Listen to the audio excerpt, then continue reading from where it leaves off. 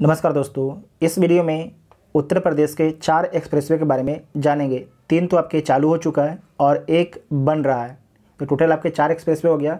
इन चारों एक्सप्रेसवे से सभी एग्ज़ाम में एक न एक क्वेश्चन पूछा जाएगा, चाहे यूपी का एग्ज़ाम हो या तो बिहार का एग्ज़ाम हो, चाहे पूरे कोई भी अगर एनटीपीसी भी आप दे रहे हैं, कोई भी एग्ज़ाम दे रहे हैं, यहाँ से एक क्वेश्चन आपसे पूछा जाएगा।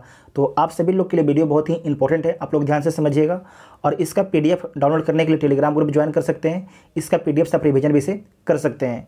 तो आइए देखते हैं पहला पॉइंट पहला है यमुना एक्सप्रेसवे जो यमुना एक्सप्रेसवे है, उत्तर सरकार ने जो है नोएडा से आगरा तक बनाया है यमुना एक्सप्रेसवे इसकी लंबाई कितनी है? तो एक सौ पैंसठ किलोमीटर इसकी लंबाई है।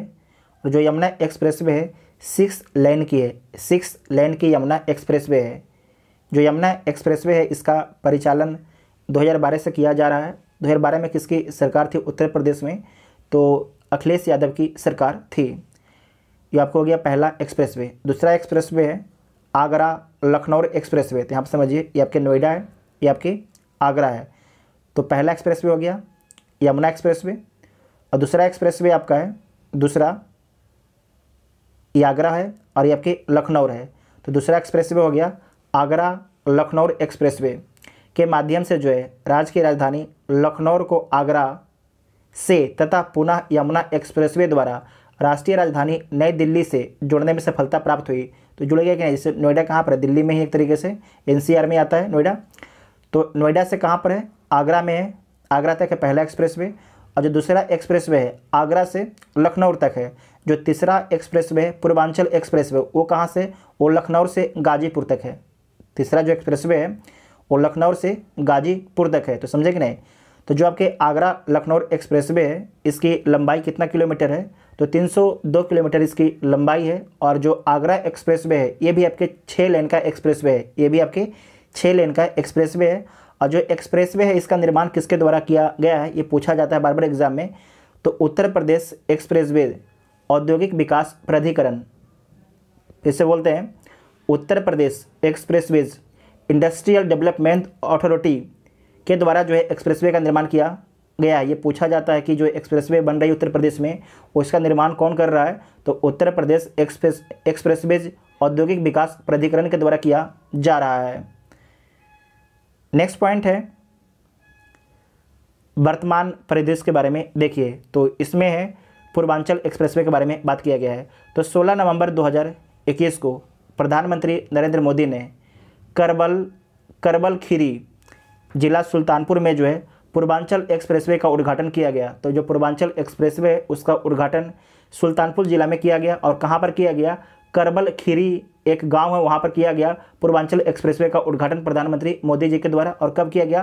तो 16 नवंबर 2021 को किया गया है। जो आपके पूर्वांचल एक्सप्रेस वे हैं, उसके बारे में ध्यान रखना है कि steel authority of India limited ने एक्सप्रेसवे के लिए अड़तालीस हज़ार दो सौ टन स्टील आपके दिया था मतलब आपूर्ति किया था। पूर्वांचल एक्सप्रेसवे बनने में योगदान दिया था। किसका भी योगदान है? स्टील अथॉरिटी ऑफ़ इंडिया का भी योगदान है। उसने अड़तालीस हज़ार दो सौ टन आपके स्टील आपूर्ति कराया था। वर्ष 2018 में जो है, प्रधानमंत्री द्वारा जो है, आजमगढ़ में इस एक्सप्रेसवे की आधारशिला रखी गई थी। तो जो इसकी आधारशिला 2018 में रखा गया था और ये बनके कब तैयार हो गया? तो 16 नवंबर 16 नवंबर 2021 को आपके स्टार्ट हो गया प्रधानमंत्री के उद्घाटन के बाद। इसकी विशेषता क्या है? तो जो इस एक्सप्रेसवे, जो पूर्वांचल एक्सप्रेसवे है, इसकी लंबाई कितना है? तो 340.824 लगभग आपके 341 किलोमीटर इसकी लंबाई है। इसके साथ ही यह वर्तमान में जो है परिचालित, ऑपरेशनल देश का सबसे लंबा एक्सप्रेसवे है। तो आपसे पूछा जाएगा कि देश का सबसे जो लंबा एक्सप्रेसवे कौन है? तो पूर्वांचल एक्सप्रेसवे है। पूर्वांचल एक्सप्रेसवे जो है लखनऊ में लखनऊ में जो है लखनऊ सुल्तानपुर रोड स्थित चाँद सराय गाँव से प्रारंभ होता है। तो कहाँ से प्रारंभ होता है? लखनऊ सुल्तानपुर रोड स्थित चाँद सराय एक गाँव है, वहाँ से प्रारंभ होता है। और उसके बाद जो है गाजीपुर गाजीपुर ज़िला में स्थित हैदरिया गाँव में आपके समाप्त होता है। गाजीपुर ज़िला में स्थित एक हैदरिया गाँव है, वहाँ पर आपके समाप्त होता है। ये आपके लखनऊ से शुरू होता है, आपको गाँव याद नहीं रखना है सबको याद रखना है कि लखनऊ से शुरू होता है। और कहाँ तक है? तो गाजियाबाद तक, जो पूर्वांचल एक्सप्रेस है, उसका विस्तार है। यह एक्सप्रेसवे जो है, लखनऊ जनपद को गाजीपुर से जोड़ता है। पूर्वांचल एक्सप्रेसवे के मार्ग में आने वाले नौ ज़िले इसे नोट कीजिएगा, जो भी उत्तर प्रदेश का एग्ज़ाम दीजिएगा, उनमें पूछा जाएगा कि जो पूर्वांचल एक्सप्रेसवे है, कितने डिस्ट्रिक्ट से होकर गुजरती है? तो नौ डिस्ट्रिक्ट से होकर गुजरती है। और कौन कौन डिस्ट्रिक्ट है उसके बारे में देख लीजिए। तो पहला तो लखनऊ है, दूसरा है बाराबंकी, अमेठी, सुल्तानपुर, अयोध्या, अंबेडकर नगर, आजमगढ़, मऊ और गाजीपुर। आपको दो डिस्ट्रिक्ट आदि रहेगा, लखनऊ और गाजीपुर आपको याद रहेगा। अयोध्या अंबेडकर नगर, आजमगढ़, सुल्तानपुर, अमेठी, बाराबंकी। और जो पूर्वांचल एक्सप्रेसवे है, ये सिक्स लेन एक्सप्रेसवे है, ये सिक्स लेन एक्सप्रेसवे है, और आगे हो सकता है इसे आठ लेन किया भी जा सकता है पूर्वांचल एक्सप्रेसवे को। पूर्वांचल एक्सप्रेसवे पर जो है, सुल्तान, सुल्तानपुर में कुरेर भार गाँव के निकट, इसे नोट कीजिएगा कुरेर भार गाँव के निकट जो है, तीन पॉइंट दो किलोमीटर लंबी एक जो है, हवाई पट्टी निर्मित की गई है। और इस हवाई पट्टी पर जो है, भारतीय वायुसेना के लड़ाकू विमान आपातकालीन परिस्थितियों में लैंड कर सकेंगे और यहाँ से उड़ान भी भर सकेंगे।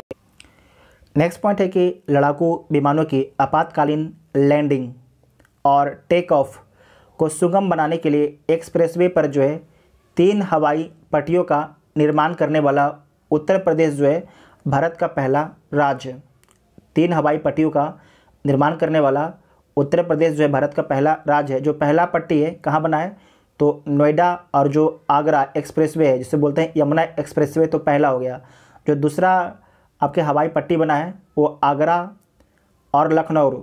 आगरा, लखनऊ जो एक्सप्रेसवे है, वहाँ पर बना है दूसरा हवाई पट्टी। जो तीसरा हवाई पट्टी बना है, लखनऊ और जो गाजीपुर एक्सप्रेसवे है, उस पर तीसरा हवाई पट्टी बना है। जो चौथा हवाई पट्टी कहाँ पर बन रहा है, बनेगा तो गंगा एक्सप्रेसवे बनेगा, कहाँ पर बनेगा? गंगा एक्सप्रेसवे बनेगा, ठीक है? तो गंगा जो एक्सप्रेसवे उसके बारे में आगे हम समझेंगे भी। उसके बाद नेक्स्ट है कि जो यमुना एक्सप्रेसवे मथुरा के निकट एवं आगरा लखनऊ एक्सप्रेसवे उन्नाव के निकट पर भी जो है, हवाई पट्टी का निर्माण किया गया है, जो आपको हम बताएँ, उसी चीज़ को यहाँ पर लिखा भी गया है। उसके बाद है कि जो पूर्वांचल एक्सप्रेसवे के निर्माण की कुल लागत लगभग कितना आया है? तो बाईस हज़ार चार सौ पंचानवे करोड़ रुपये आपके लागत आया है। भूमि लागत सहित जो भूमि खरीदने में पैसा खर्च हुआ उसको, उसके लेके सहित मतलब कि जितना भी भूमि खरीदने में पैसा खर्च हुआ उसे शामिल करके जो है बाईस हज़ार चार सौ पंचानवे करोड़ रुपये पे खर्च किया गया है। इसका लाभ क्या होगा? तो इसका लाभ होगा कि पूर्वांचल एक्सप्रेसवे के माध्यम से जो है राज्य का पूर्वी क्षेत्र न केवल लखनऊ से बल्कि राष्ट्रीय राजधानी से भी आगरा लखनऊ एक्सप्रेसवे और यमुना एक्सप्रेसवे के माध्यम से आपके क्या हो जाएगा? जुड़ जाएगा। तो एक तरीके से जो गाजीपुर है, जो गाजीपुर के आसपास के डिस्ट्रिक्ट है, वहाँ से बहुत आसानी से लोग जो है रोड के माध्यम से दिल्ली पहुँच सकते हैं। और यहाँ पर बताया गया है तो सबसे पहले आपको जो पूर्वांचल एक्सप्रेस वे उससे गुजरना होगा। उसके बाद लखनऊ और जो आगरा एक्सप्रेस वे वहाँ से गुजरना होगा। फिर यमुना एक्सप्रेस वे, उसका दिल्ली पहुँच जाइएगा उसके बाद नेक्स्ट पॉइंट है कि इससे प्रदेश के, पूर्वी हिस्से के जो है आर्थिक विकास को बढ़ावा मिलेगा। जो आपके उत्तर प्रदेश है, उसका जो पूर्वी हिस्सा है, वहाँ पर आपके विकास को बढ़ावा मिलेगा एक्सप्रेसवे के माध्यम से। यह एक्सप्रेसवे जो है, कृषि वस्तु और अन्य उत्पादों के लिए, अन्य उत्पादों के लिए बड़े बाज़ारों तक बेहतर और त्वरित पहुँच प्रदान करेगा, क्योंकि यहाँ पर जो एक्सप्रेसवे होती है, वहाँ पर गाड़ियाँ 120 के ऊपर स्पीड में चलती है। नेक्स्ट है कि एक्सेस कंट्रोल्ड एक्सप्रेसवे होने के कारण जो है, यह ईंधन बचाएगा। प्रदूषण नियंत्रण में मदद करेगा। साथ ही, दुर्घटना होने के आसार को भी आपके कम कर देगा एक्सप्रेसवे। इस एक्सप्रेसवे के निर्माण के दौरान जो है, टोटल आपके 60 लाख से अधिक मानव रोज़गार दिवसों का सृजन हुआ है। तो इतना आपको ध्यान में रखना है। एक बार आपको शॉर्ट में एक यहाँ पर दिया गया, इसमें देख सकते हैं कि जो पूर्वांचल एक्सप्रेसवे लिखा गया पूर्वांचल एक्सप्रेसवे, इसका विस्तार कहाँ से कहाँ तक है? तो लखनऊ से गाजीपुर तक इसका विस्तार है और इसकी लंबाई कितनी है? तो तीन सौ इकतालीस किलोमीटर इसकी लंबाई है। जो हवाई पट्टी कहाँ पर बनाया गया है तो लड़ाकू विमानों की आपातकालीन लैंडिंग और टेकअप के लिए कुरेभार गाँव, सुल्तानपुर के निकट जो है, हवाई पट्टी का निर्माण किया गया है। और देश का सबसे लंबा एक्सप्रेसवे है। इसकी लंबाई कितनी है? तीन सौ इकतालीस किलोमीटर है। और किसके द्वारा बनाया गया है? तो U P E I D A के द्वारा बनाया गया इसका फुल फॉर्म क्या होता है? उत्तर प्रदेश एक्सप्रेसवेज औद्योगिक विकास प्राधिकरण के द्वारा बनाया गया है। तो इतना आपको ध्यान में रखना है। नेक्स्ट पॉइंट है, गंगा एक्सप्रेसवे के बारे में जानिए। तो जो गंगा एक्सप्रेसवे है 18 दिसंबर 2021 को, प्रधानमंत्री नरेंद्र मोदी ने शाहजहाँपुर, उत्तर प्रदेश में गंगा एक्सप्रेसवे की आधारशिला रखी। तो पहला प्रश्न पूछा जाएगा कि जो गंगा एक्सप्रेसवे इसकी आधारशिला किसके द्वारा रखा गया? तो प्रधानमंत्री मोदी की जी के द्वारा। और कहाँ पर रखा गया? तो उत्तर प्रदेश के शाहजहाँपुर में रखा गया है। जो गंगा एक्सप्रेसवे है, उत्तर प्रदेश को जो है, ये उत्तर प्रदेश है। उत्तर प्रदेश को जो है, पश्चिम से पूर्व की ओर जुड़ेगा। मतलब कि जो पश्चिमी उत्तर प्रदेश है और पूर्वी उत्तर प्रदेश से दोनों को आपस में कनेक्ट कर देगा गंगा एक्सप्रेसवे और इसकी लंबाई कितना है? तो पाँच सौ चौरानवे किलोमीटर इसकी लंबाई है। जो गंगा एक्सप्रेस एक्सप्रेसवे ये छः लेन का होगा। इसे भविष्य में जो है, आठ लेन किया जा सकता है। गंगा एक्सप्रेसवे जो है, मेरठ ज़िले के, जो गंगा एक्सप्रेसवे, मेरठ ज़िले के बिजौली गाँव एन एच सौ प्रारंभ होकर जो है प्रयागराज के जुडापुर डांडू गाँव पर आपके समाप्त होगा। जुडापुर डांडू गाँव पर आपके जाके समाप्त होगा। इसे बोल सकते हैं कि ये कहाँ से कहाँ तक बनेगा? तो मेरठ से प्रयागराज तक, ठीक है? मेरठ से प्रयागराज तक होगा गंगा एक्सप्रेसवे। और किसके द्वारा इसे बनाया जा रहा है? तो उत्तर प्रदेश एक्सप्रेसवे औद्योगिक विकास प्राधिकरण के द्वारा इस एस जो एक्सप्रेसवे है, गंगा एक्सप्रेसवे इसे बनाया जाएगा और इसकी नोडल एजेंसी भी आपकी है।